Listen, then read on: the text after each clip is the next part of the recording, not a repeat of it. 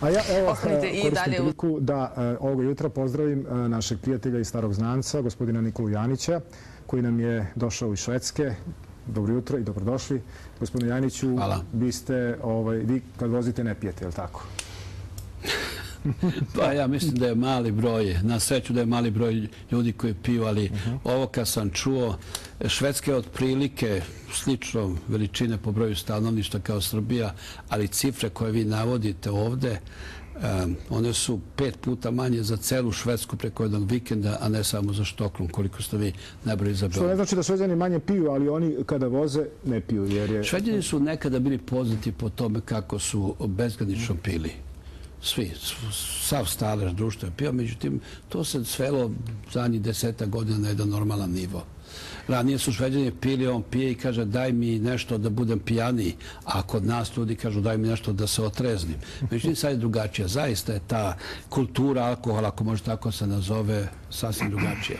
Dobro, gospodin Janiću, vi ste e, ovoga puta u Srbiju došli zbog jednog veoma važnog posla. E, reč je o osnivanju e, jedne organizacije, zapravo asocijacije za istinu o Srbima. Možete li malo konkretnije da nam kažete o čemu se radi? Pa znate šta, veliki broj ljudi je ubeđenja da je Srbija trebala već odavno da se pobrine malo za istinu dešavanjima na ovim prostorima. Vi znate, mi smo i kod vas i u emisiji Matica i Rasajanje često govorili o tome, međutim, ovaj to se nije desilo.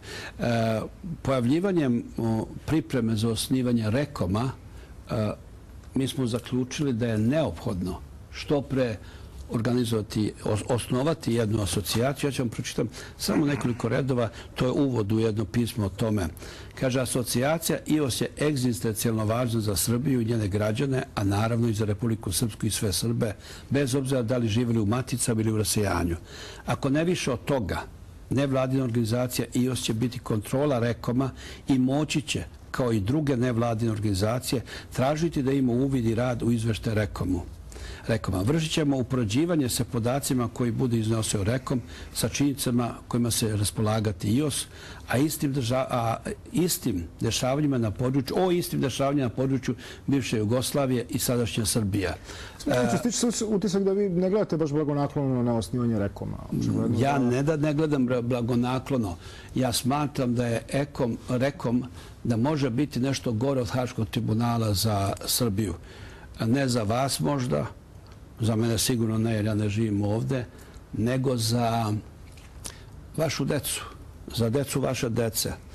To je na kraju krajeva i sam neki gospodin režisar, mislim da je ranije bio bivši muž gospođe Nateše Kandić, to je porodična ovaj, institucija, rekao u dve emisije, kada su ga pitali, oni najavljuju rekom, vrlo, vrlo morbidno najavljuju rekom, imate stalno recimo reklame da čujete jedan ženski glas, devojčicu mladu koja ide i kaže e, Čika je ubio moju mamu, pa posle mog tatu, pa posle mene, a onda i mog brata i sad ne znamo gde je. I oni su to predstavljali da je njihova obaveza da nađu žrtve, da saberu broj žrtava i tako dalje i tako dalje.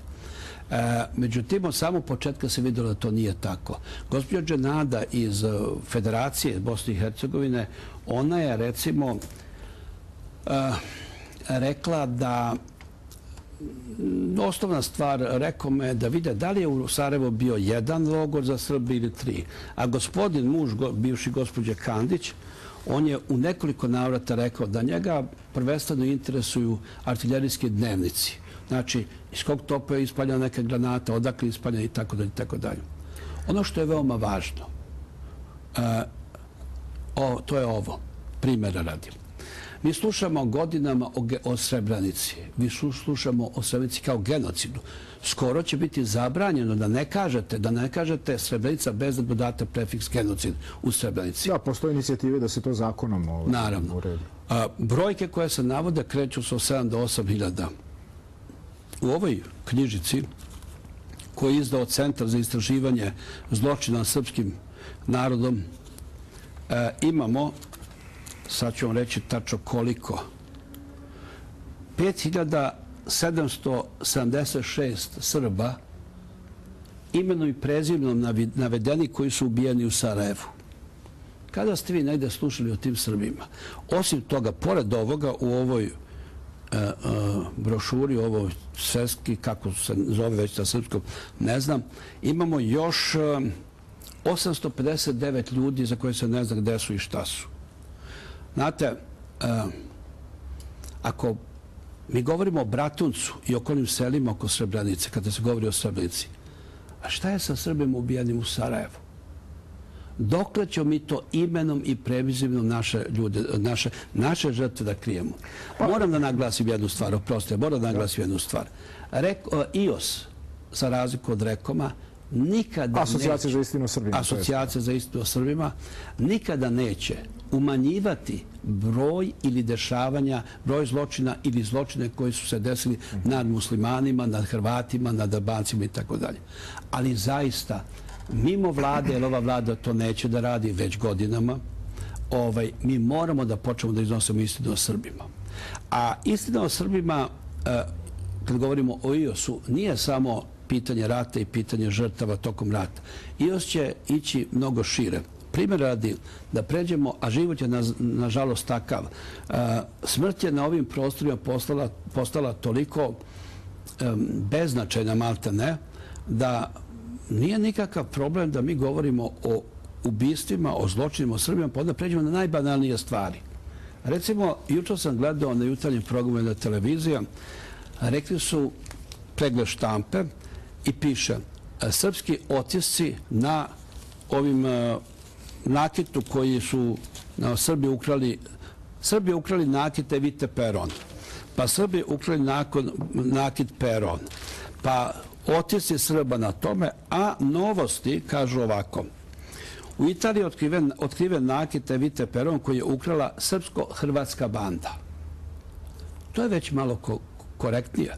Znači, to je jedna grupa lopova sastavljena o Srba i Hrvata. Dakle, svuda i na svakom mjestu postoji potreba da e, se Srbi na neki način e, zaštite od ovakvih e, proverenih Prvenstveno je pitanje dešavanja na prostoru bivše Jugoslavije od raspada tokom građanskih ratova i svega toga. To je prvenstveno, naravno. Drugo je da kasnije, mi ćemo imati naravno i sajt, imat ćemo bazu podataka, kasnije ćemo imati jednu mrežu po celom svetu gdje ćemo ovakve stvari, ovakve članke, ovakve emisije, kao što je ova sada idiotkinja amerikanka rekla u vezi ovoga koncerta ove drogirane, da, drogirane i pijane dame. Kako je to zamena teza, zaista? Da su Srbi budale i da oni ne znaju uopšte kako Srbi mogu da koriste Facebook i ovaj da su genocidni i tako tako. Znači, svuda je, zašto je ta žena rekla? Amerikanci su uopšte neobavešti, nezainteresuju. Amerikanci ne zna gde je Štokol ne zna gdje je Beograd. Ali oni šta čuju sa televizije, to ostaje. To je propagandni eho koji njima ostaje. Srbi su u svetu postali genocidni narod. Da. Ako vi u jednoj emisiji slušate gospođu Natašu Kandić, koja kaže kada jedna dama, gospođa Lilja Bulatović, pita za 12 Srba, ovih beba koji su umrli u Banja Luci, zar to nije rat i zločin? A ona izlazi sa njenom standardnom frazom. Mi ne govorimo sada o srpskim bebama. Pa čekajte, hoću da mi hoćemo da progovorimo i o srpskim bebama, da progovorimo i o muslimanskim bebama, da progovorimo i o hrvatskim, o svim. Ali, to je borba za istinu, a ne za istine. To je borba za istinu. Da. Za istinu o svim dešavanjima ovde. A ovo što se dešava u našim medijima i naše medije su... Ja ću vam dam primjer gospodina Ratka Mladića. Kad Ratko Mladić e, uhapšen, ja sam bio na više ovaj, intervjua i razgovora na švedskoj televiziji, radiju i novinama. I ovaj, e, prvo pitanje je bilo da li sam srećan da je Mladić uhvaćen. Ja kažem, jedan sobi ne da je srećan, ali dobro, kad se to desilo, bar ćemo, nadamo se da ćemo imati jedan sudski proces u Hagu koji će moći da se prati, da će što manje biti zatvornih sednica i saznaćemo mnoge stvari koje nismo znali. I onda pitanje, koje stvari? Pa recimo da znamo, ajmo o Srebrenici, pošto je koliko je ljudi ubijano, koliko je streljano, koliko je poginulo u borbama između muslimana, u borbama muslimana sa Srbima u proboju ka Tuzdi. Ali šta je interesantno kada govorimo o Srebranici? E, Gospodin Nataša Kandić i, i na B92 ja nikada nisam e, pro, čuo nešto drugo da nisu rekli ubijeni ljudi i dečaci. Pazite, dečak, pojam dečaka, on ide od 13 pa do 18 godina. Hajmo recimo da vidimo, ne da umanjujemo ono šta se desilo deci, e, odraslima, mladima, starima, nego da vidimo koliko je tih dečaka, što oni stalno govore, bilo koji su bili 15 godina, vrlo malo istreljani, a koliko ih je bilo koji su imali 17 ili možda mesec, dva do punoletstva i nosili pušku vrlo lako s kojom su ubijali srpsku nejači srke starce u okolnim selima u Srebrenici. Ja nikada nisam čuo, recimo, ispred neke nevladne organizacije tipa gospođe Kandić, gospođe Biserko, da su rekli uh, devojčica od 13 godina koju su u Sarajevu, a to su švedske medije, prenosno to svi znamo, čovek e, Seli Magić, ali je kako se zove, svedočuje kako se silovali pred ocem i majkom i onda su je zakladi. A oca i majko su lupili po glavi, znači i bacili u kazane. E, dozvolite da završimo ovo. Ja se malo iznerviram i onda izgubim koncentraciju, jer me to nervira. Nećemo mi da forsiramo zločine na Srbima. IOS neće forsira nikakve zločine. IOS hoće samo istinu i hoće da medije u Srbiji, recimo kada govore o gospodinu Mladiću, kao što govore švedske medije, u Švedskoj vi imate 95% medija koji kažu osumnjičen za rat i zločin u Bosni gospodin Ratko Mladić. U Srbiji 95 medija već piše godinama rat i zločin za Ratko Mladić. Mi ne možemo da ulazimo u to da li jeste ili nije. On je za neke heroj, za neke zločest. Ajmo da vidimo na kraju kada istorija napiše finalni jedan, jedan papir o svemu tome za 10-20 godina i tako da i tako dalje. E, mislim da se u Srbiji olako shvataju one neizmjerno važne stvari, a to je istina o Srbima u potpunosti u potpunosti. Ne mogu, ne može da bude dozvoljeno nijedno mediji, a kamoli u Srbiji, da napiše ovaj srpska banda ukrala do ove, kako se zove, nakit, srpski lopovi ukrali nakit, a ovdje piše ovaj, da je to ukrala srpsko-hrvatska banda. Eto, to je, to su te nijanse koje su veoma važne. Da, dakle, ako sam vas dobro razumijem, vi zapravo mislite da e, e zatvaranjem e, Haškog suda zapravo E, ne zatvara to poglavlje, odnosno ne zatvara e, e, pa, namera i težnja da se Srbi stalno drže pod, pod pritiskom, da se Srbija stalno drže pod pritiskom i ovaj, e, bude, da tako kažem, e, na meti. Pa znate... E, I politički, i da bude i politički i ekonomski, u svakom smislu ucenjena. Evo, sinu ste slušali vesti i jutro, recimo, gde... Rekao mi je, dakle, po vašem mišljenju, samo korak u tom pravcu. samo malu parantezu, samo malu parantezu napravi.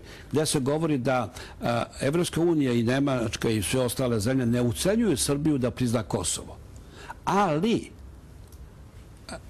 parlament Nemački kaže već, kažu, da će tražiti da Srbija to uradi. Što znači, ako se vratimo nazad, sva dešavanja su bila malo po malo. Prvo medije pišu, ne traži se to, ne zahteva se to, onda su Srbija pa traži Gerald Galuče decidirano e, izjavio da će se tražiti konkretno Da, ali to nije uslov. Pazite, pa da li su Srbi toliko ljudi? Da li su ljudi svi idioti kada kaže, znate, to nije uslov, mi ne postavljamo uslov za ulaz za Srbiju u Evropsku uniju, ali tražit će parlament Nemačke. Pa da li neko misli da, da to neće zaista se usvoji? Druga stvar, vi ste postavili veoma važno pitanje u vezi Rekoma.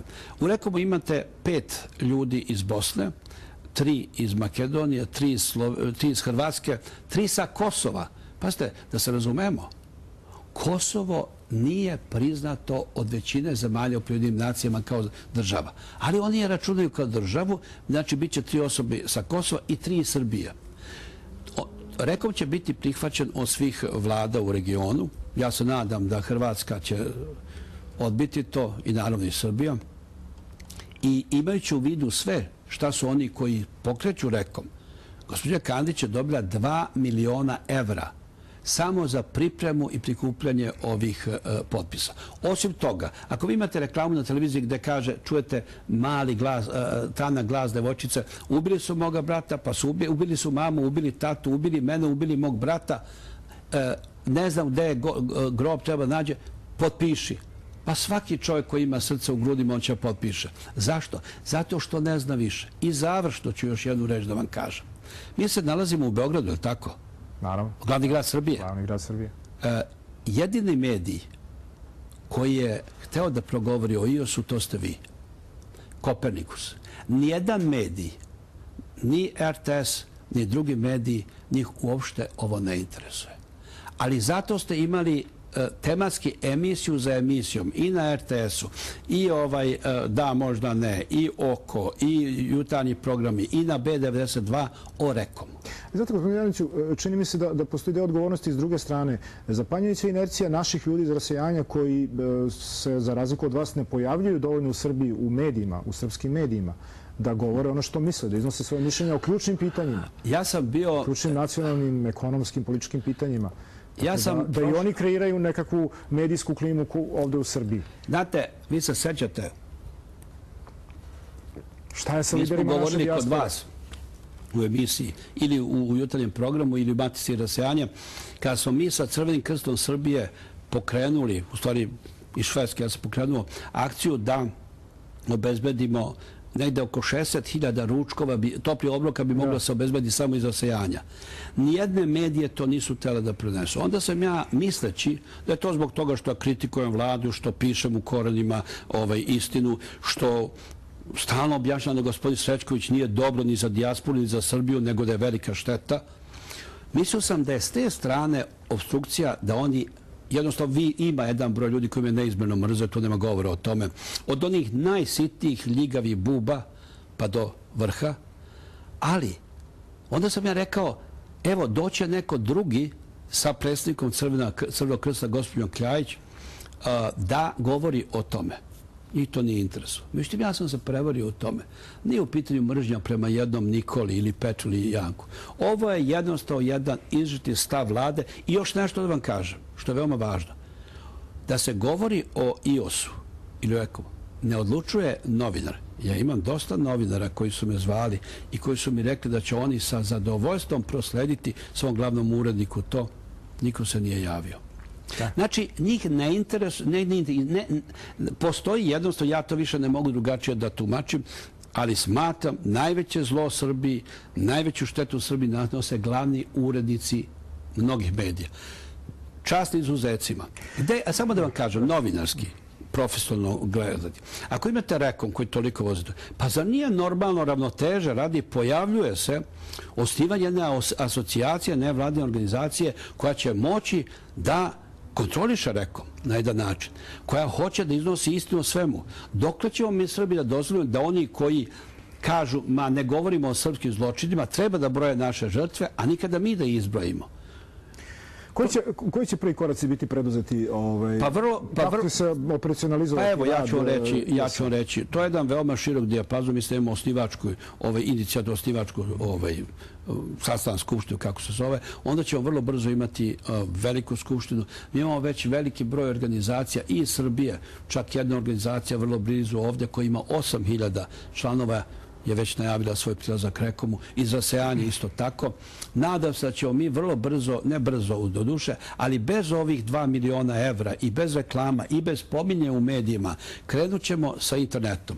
Mi smo okupili jedan broj mladih ljudi, sposobnih ljudi i stari stručaka i za internet. Pustit ćemo sajt IOS-a. Na svim sajtovima će se o tome govoriti. Već su reakcije preko Facebooka, po grupa i tako dalje, velike po ovom pitanju. Ne možemo da dozvolimo jednostavno, ne možemo da dozvolimo da jedan urednik u jednim novinama kaže ne, ne smem ili neću da se progovori u IOS-u. Hoću samo o rekomu mi to ne možemo dozvoliti. Mi to ne smemo da dozvolimo zbog dece naše dece.